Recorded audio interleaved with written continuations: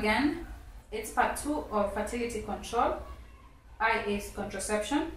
Um, last time we talked about the different methods, the types, and we even came to the point where we talked about the non-contraceptive benefits, where we found out for the hormonal we could have less period pain, less flow of the menstrual period, and less of the mood swings that we normally have before and during periods. So, this day, what do we want to discuss on this topic today? So, this is part two of the cell. I'm just going to give you more insight on the topic. What happens when you skip your pills? Or what happens then if you happen to skip the pills? Do you take the pills? Don't you take the pills? What happens? this is all that I'm going to talk about today and more on the uh, on other methods of contraceptions uh, I'll go into depth about it to give you a bigger picture of what is happening more of the advantages and the sorry and the disadvantages of the different methods of contraceptives so if it's not a bother let's draw again and talk about this topic thank you so what kind of people are not supposed to use the hormonal uh, contraceptives, like the combined pills? We call it contraindications. For the hormonal pill, we have absolute. This means these people cannot, should not, will not ever use these pills. And then there's relative, where you could talk to your doctor and maybe you could come to a nice understanding into exactly how much of the drug can you use and how much you can't use. So for relative, at times you could. For absolute, you can never use. So, have you had a stroke? Or maybe you're having an ongoing stroke? You can't. Um, are you having any heart conditions that is still ongoing, like a heart attack you just had recently? You cannot take these things. There is um, another thing called ischemic heart disease it still has got to do with a heart uh, heart attack but in a different way it's like when your heart muscles are not working properly and not so i told you stroke current or history of a stroke heart attack a current or history of a heart attack uh, ischemic heart disease. If you're a smoker hold on now. Don't think all smokers cannot use these pills. A smoker who's above 35 years and you smoke more than 15 cigarettes a day, then you should not use these drugs, please. For relative, if you're a smoker, but you're less than 35 years and you smoke less than 15 cigarettes a day, then you could maybe, depending on your doctor, if you've consulted him. So for other relative, there's obesity. Um, obesity will this uh, i'll be talking about this topic in, in my coming videos i'll explain to you when do you know somebody is, is obese or is morbidly obese i mean there's different uh, aspects. Not every person who looks chubby or fat is obese because um, with obesity there's a different definition and there are people who are overweight. So do not confuse being overweight with being obese. So here the other thing if you have diabetes it's also very relative.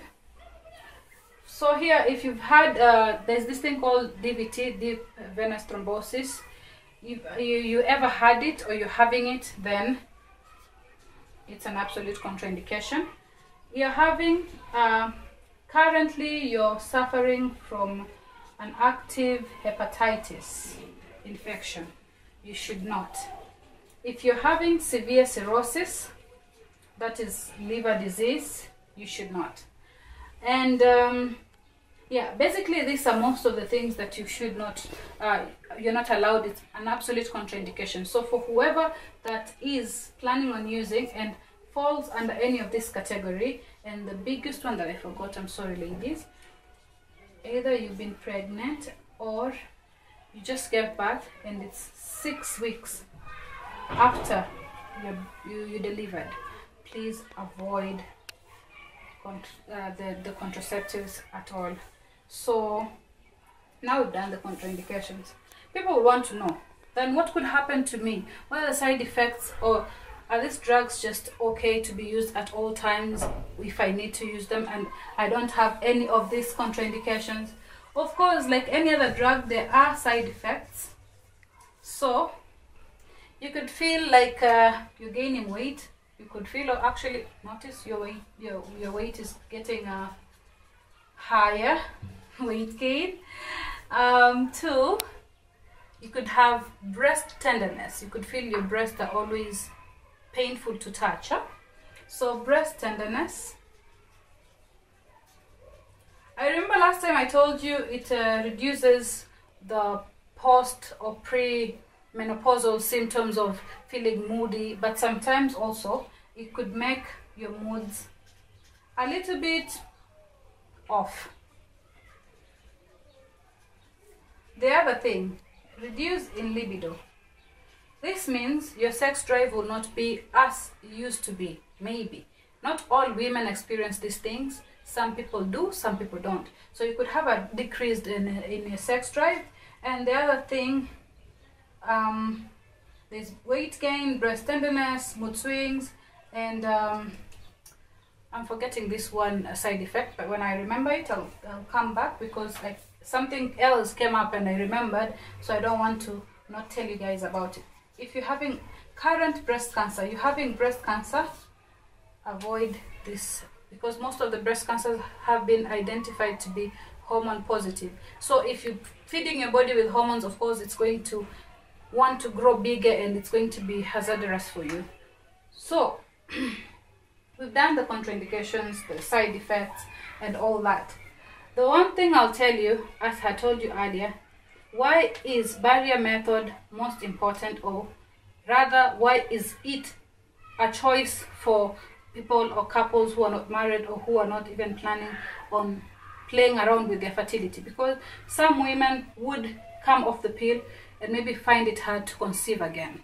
So in case you just you ever conceived and you don't want to take the chances into making trying to make a baby later and then you have to like try so hard because maybe the contraceptions are still in the cycle and your body is still acting up because our body um, our bodies rather are made up of lots of other hormones and this interaction sometimes could make the body go crazy. So that's why i normally um, suggest uh, the barrier methods which is condoms as i told you earlier works better because one the advantages of the condoms i don't have to write them down yeah one it's very cheap to buy a condom two they're readily available in even the small shops around. Three, you not only protect yourself against HIV or other STIs, but you're protecting yourself against the pregnancy. So it has a cover up for the, the, the pregnancy plus the diseases. You see, the only problem with this, or maybe that is the major problem most people keep on complaining, is the fact that you find it might interrupt the heat of the moment. So that's the biggest um, problem about it. And some people happen to react to the material that the, the condoms are made of latex. So those are the two main um, disadvantages of condoms. So as we already talked about um, I, I think I had done small parts of uh, the natural and the disadvantages and advantages and now this. The last thing I would want to talk about is if you miss a pill let's say, let's call them missed pills. It's a sad story, yeah? Extremely very sad in case you happen to miss your pill.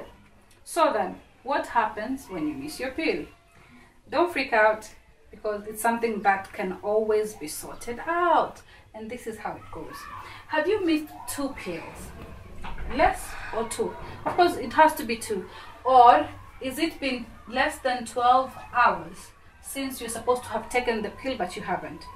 Don't freak out. What you do, take the pill that you're supposed to take as early as you remember.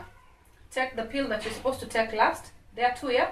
Take the one that you're supposed to have taken just immediate and then continue with your cycle as normal. Make sure you take your pills at the same time every day and forget the one that has already passed, yeah? And you don't have to you don't need any other form of contraceptives uh, whatsoever you're good to go what if daktari i have missed three pills and it's been over 12 hours since I took my last pill. Do I mean like I've totally spoiled my thing? No, relax, still nothing is spoiled. Immediately remember, take the one pill that was just before you forgot, yeah? And then continue with the normal uh, pills. But then, for this now, you have to use extra protection. Don't just rely on the pill because it might fail you if you're doing you having regular intercourse so take an extra protection maybe put an add-on like use a condom which is the easiest way for at least seven days. After that you're good to go oh no i traveled. I went to visit my grandma. I forgot my pills at home.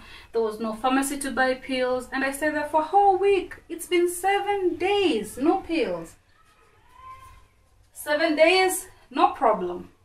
Again take the one that you're supposed to take and again extra seven days for um, protection extra protection other than just the pill and continue with your cycle as it was intended and when you finish you should finish your entire pack rest the seven days that you're supposed to rest and continue with your pills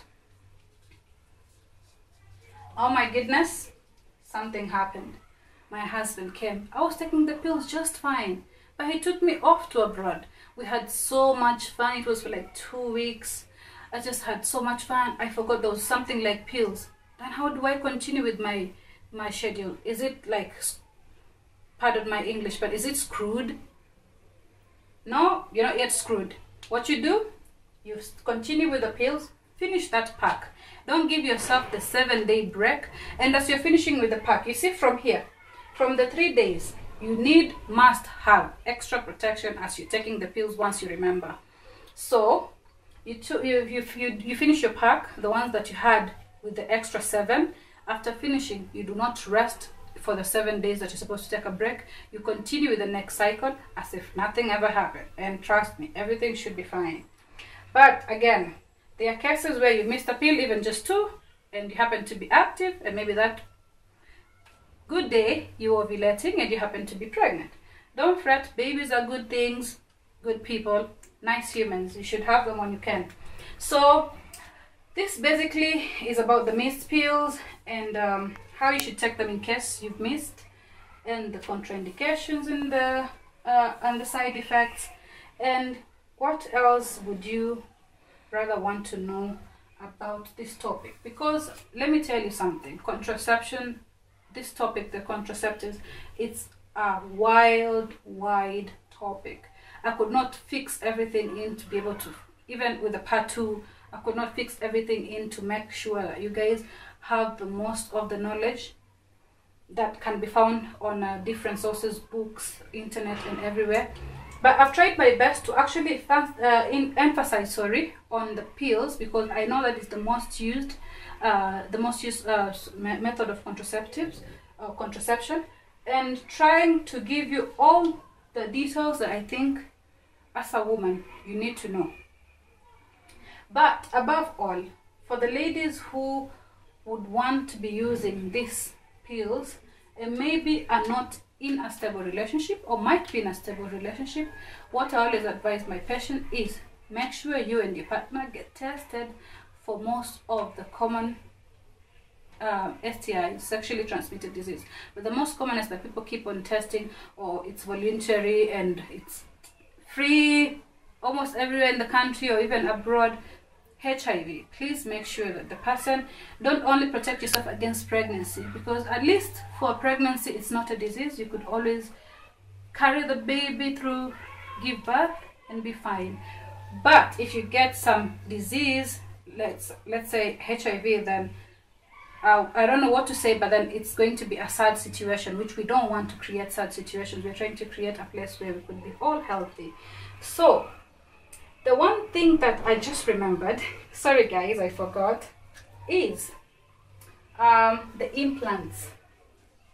They also they also fall under um, hormonal, but I'd forgotten to talk about them because nowadays most people don't actually use them because the most uh, the, the the the sin at the disadvantage or the biggest disadvantage sorry the biggest disadvantage I'm sorry guys the biggest disadvantage with the implants it's been it's it seemed like after you remove the implant it becomes very hard to try and conceive. So most women have and it because it's something that is done for a prolonged time maybe five years maybe seven maybe three and nobody would want to stay all that while not having a baby. So it's not been so much into use right now or these days that's why i didn't talk much about it. So anyway guys this is all I feel I've exhausted most of the most important, important things on, on the pills and contraceptives and different methods. But I know lots of questions will be arising from the same. Feel free to either comment below and tell us about it, tell me about it. I'll be happy to answer you whatever way. Or if you feel it's very sensitive and you wouldn't want to comment in for the public, sorry, we have a page. It's called sorry guys no space. Dr saru. Cynthia. On facebook and twitter. Get me on dr underscore saru cynthia. Here you could dm me you could inbox me on facebook and I'll be sure to answer those private questions that you feel you cannot put them on public. And for that, be fit and well, love and love Dr. Saru.